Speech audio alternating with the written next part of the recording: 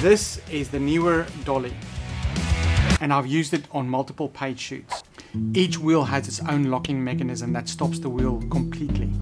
I tested the dolly at the local skate park and it actually slid down rather than the wheels turning.